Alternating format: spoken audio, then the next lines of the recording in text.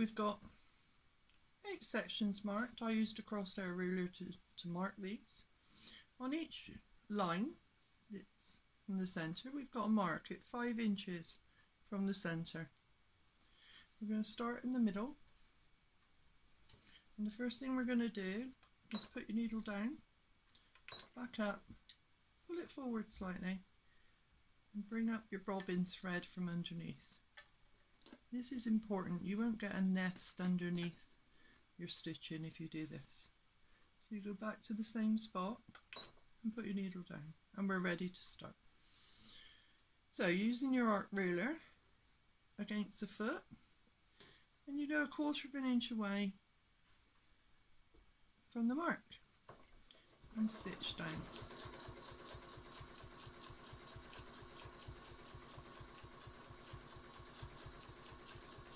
Nice and slowly and start with your needle down. Now there's no need to turn this round. You're going to go back. You're going to go back to the centre. So stay in a quarter of an inch away from the centre because your foot is half an inch wide. So you're going to stitch a quarter of an inch away from the ruler. And we're going to go back up.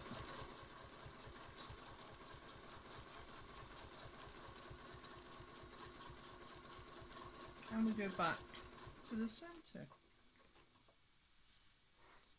One leaf. Now when you're doing eight leaves, you need to do four first. Each side, front and back. So we're going to go to this one. Again, quarter of an inch away.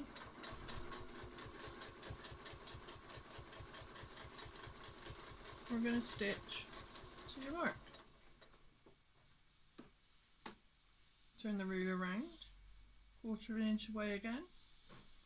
I'm going to stitch back this way to the centre.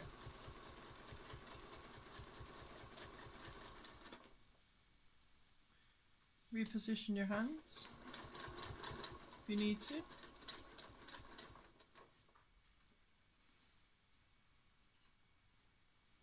Make sure your threads are out of the way. And we're going to do this side. So again, quarter of an inch away from the centre.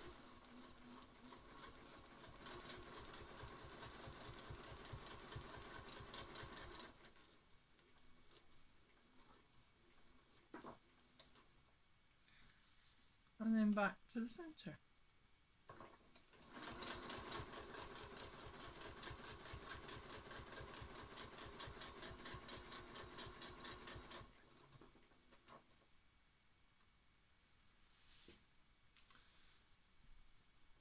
Now because you can use this, I've got a high shank machine with a high shank ruler.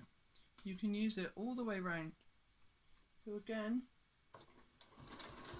don't have to move your work. So you stitch to this mark and then back to the centre.